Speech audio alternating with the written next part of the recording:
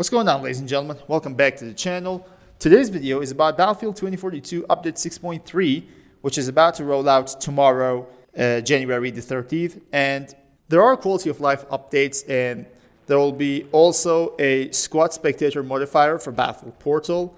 Uh, and we've got a new event. So we're to go all over the patch note to see uh, what's coming, what quality of life changes are we going to get, and all of that. But before we start, if you enjoyed the video, hit the like button. That will really help the channel to grow and help this video to reach out to more Battlefield players like yourself. And definitely make sure to subscribe to the channel if you're following Battlefield 2042 or just Battlefield news in general, uh, because everything will be covered here as well. So let's just jump right into the patch notes. All right, so we've got a look ahead for the Year of the Dragon event. We've also got Squad Spectator modifier for Battlefield Portal that allows for one life or tactical squad custom experiences. And We've got personal player color identifier improvements as well. So the update is kind of a hot fix as DICE uh, refers to it. So we've got some quality of life changes both to specialists and to weapons, as well as a new event and some changes to Battlefield Portal. So uh, let's jump right in and see what's going on. So, starting off with the Year of the Dragon event,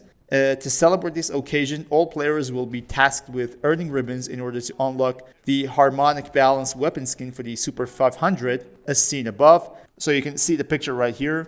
Uh, it's a decent skin. And you've also got a Curious Spirit weapon charm, as well as additional XP boost and tier skip to help you kickstart the year. So what's going to happen is we've got a event called Year of the Dragon. Uh, we've got some awards that we have to kind of earn ribbons to unlock them. And that's the only way DICE thinks this should be. And further below, they mentioned that some of these items are also a part of a new store bundle arriving with this event. Earnable items that are successfully unlocked also reduce the overall cost of this store bundle. So let's go to the changelog. We've got Squad Spectator modifier for Battlefield Portal. You will now have the ability to enable squad spectating within Battlefield Portal custom experiences. This will allow you to spectate your squad mates after dying before entering the deploy screen once more to redeploy similar to the experience within Hazard Zone. As a part of this update, we will also be introducing the ability to disable the button on this spectator screen, which will prevent you from redeploying, allowing for custom experience to feature one life or tactical squad modes, while still allowing you for spectating your immediate squad. So I'm not really a fan of Portal. In fact, I don't even play Portal anymore. My whole playtime in Portal is like one hour. That's that's like everything I know about Portal. So I'm not gonna uh, kind of go over this change a lot. For you guys who play Portal, you probably know what this is about. So we've got AI, soldier, and general improvements. Starting off, players will now see a crossplay status indicator within the main menu if they currently have crossplay as off. So I'm not sure uh, this applies to the people who have crossplay on. There should be a, a status indicator, I believe, for both people. But what it mentions here is it will only show this uh, crossplay status for people who have crossplay off. I believe it should be for both. Maybe that's the case. Maybe there's something wrong written here, but that's cool to have. I believe it should have been there like from from the get-go, but we we're kind of used to getting things 2 years later. So this is also one of those things. We have extended the personal player color functionality to include more HUD elements. You can set your own color, which will be visible to yourself within the HUD section from the option menu. So probably we can just customize the color for our HUD uh, just, just a bit more. I don't think it's a big deal. There's, there's really nothing more to it. So let's get going. Gadgets and specialists. Fix an issue where the head hitbox of a player mounted on Crawford's Vulcan could become misaligned. So this happened to me a lot when playing against Crawford players. Like when I want to snipe them through that gap in between the shield, that just wouldn't register as a headshot. That's really annoying when you only have one shot and then you're dead. That really matters, okay? So uh, that's one of the problems I was facing back then. Fixed an issue that could cause a player to not see a successful SOFLAM lock on against vehicles. So I've come across this quite some time. I had a friend playing SOFLAM for a while. And this actually refers to when one of your teammates essentially locks onto a target, or let's say laser marks it or paint it with the SOFLAM, everyone in the team should be able to see that lock on prompt coming on, right? Everybody in the team should be able to see it and lock on it. But that is not the case for all of the teammates for some reason. That was a glitch. And I've come across it for quite some times. It was like my friend was locking onto a target and I couldn't see any target, but my squad mates could. And that really ruins the efficiency of SOFLAM because the only thing that SOFLAM can do is actually locking on a target and showing that to all of the teammates, right? So when SOFLAM is not able to do that, then what is it able to do, right? So that is something that should have been fixed and will be fixed soon. The Penguins have applied extra glue to the C5, so they should now stick to vehicles with greater efficiency. So I'm pretty sure you guys have come across this issue as well. Maybe you don't know it, but I'm pretty sure you guys have come across it and were like shocked why this is a problem. But uh, let me put it like this. Sometimes you throw a C4 at a vehicle and it just glides, starts gliding down slowly on the ground. That's the issue where uh, this quality of life updates will fix.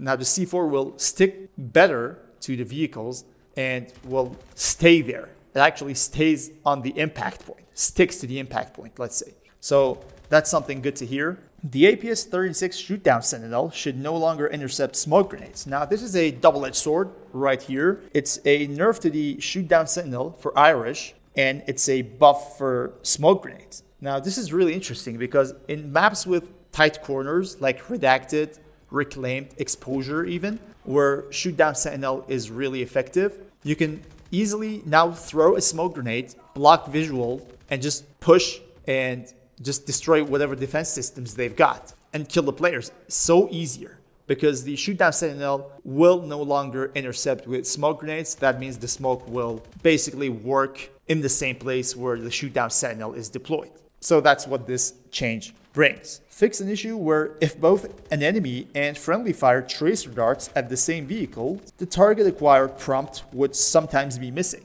Well, this is not a very important change in my opinion. There are so few people who play tracer darts actually, and uh, I don't think this uh, really matters at all. Uh, fix the target acquired prompt to sometimes be shown on destroyed vehicles. So I've come across this one a lot uh, where someone locks into a vehicle, that vehicle gets destroyed, and the lock on prompt is still there. So your teammates can actually lock onto the destroyed vehicle and actually shoot it. So that's just a waste of resources, but it is what it is, you know? That's, that's going to be fixed. Fix the SG-36 Sentry gun sometimes targeting destroyed vehicles. Because I've been grinding a T1 mastery for Boris since forever, I've actually come across this issue thousands of times.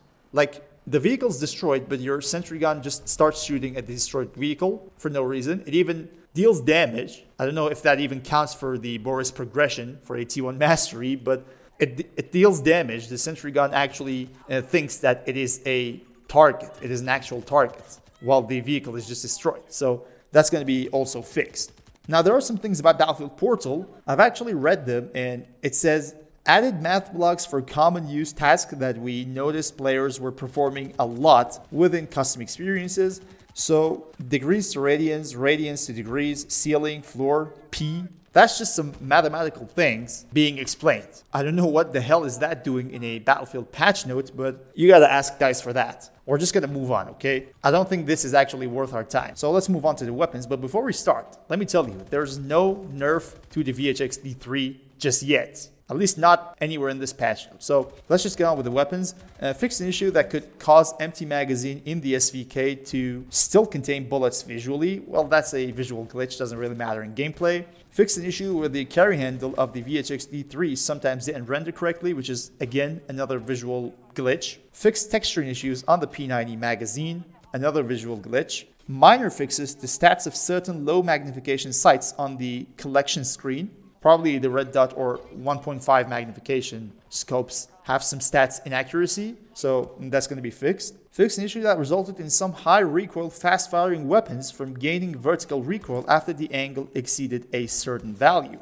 which is pretty much interesting to come across something like that. But imagine having a high recoil, high rate of fire weapon, and the only thing that keeps that weapon balanced actually starts going out of the equation. Imagine shooting with a weapon and there is no vertical recoil to it. That's very interesting, but it is being fixed. Fixed a discrepancy between the collection screen and ammo count in game for the ACWR extended magazine, which I do exactly know what this is about. So, uh, yeah, let's take a look at this in game. For the extended magazine on the ACWR, it shows 36 bullets, but that's not actually the correct stats. The correct stats is 40 bullets per magazine for the extended one. So that's going to be fixed. Fixed a clipping issue when using the PSO1 scope on the SCAR H, that is for Portal, corrected the pros and cons of the high power magazine on the G428 in the collection screen, which again is another stats inaccuracy that will be fixed. Corrected the rate of fire stats for the AC42 in the collection screen. I mean, the collection screen is just a mess. Nothing's accurate.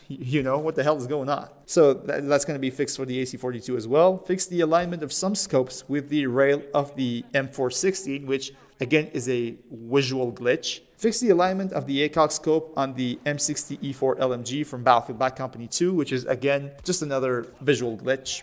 So we've got vehicles here. The change changelog to vehicles is somehow interesting. Fix a variety of issues related to interactions between vehicles' systemic damage and EMP, including scenarios that result in a permanent vehicle disabled state after being EMP'd. Just imagine being in a vehicle, someone throws an EMP grenade at you, and you're disabled for the whole match that disabled stats wouldn't go away. You just can't get out of being disabled. That's just ridiculous. That should really make the driver angry. I would be pissed off if I ever had come across something like that. The EBAA Wildcat now has access to air radar. The range of this can be altered in air radar settings within the option menu. If there are vehicle players watching this, I really appreciate an explanation for this one down in the comment section. So uh, let's get that from you guys.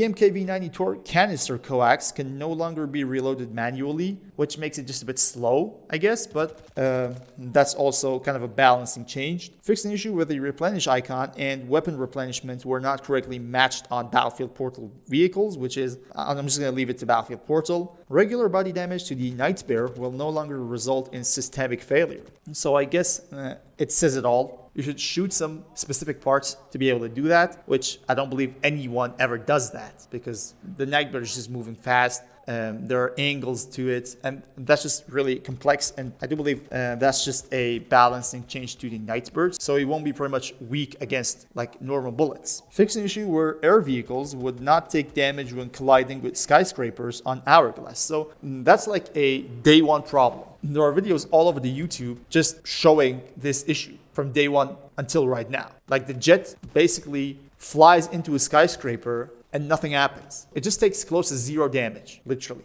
And that's going to be fixed, thank God, after more than two years. Reduce the magnet effect that some helicopters may encounter while being close to the ground. So basically, when helicopters come close enough to the ground, the game actually believes that they're trying to land. So there's a magnet effect that basically makes them stick to the ground. And that magnet effect will be reduced because uh, some pilots probably like to just fly at lower heights and that magnet effect probably causes some issues for them. Uh, at least that's my perspective. If there are pilots watching this video, you can just explain down in comment section and I'll be really grateful. But there's something that they've removed from this patch note, and that's actually explained by Battlefield Comms on Twitter. Additionally, we had hoped that update 6.3 would include the improved map rotations quality of life change as listed on our roadmap to Season 7. This change is still on its way and will reduce the likelihood of playing the same locations multiple times in short successions. While this won't arrive for update 6.3, please stay tuned for more details on when to expect this in a future update. It basically says it all. There's this problem where you might play one map twice in a row. That's just the map rotation failure that's happening right now in the game. And they've promised to fix it and fix it with this update,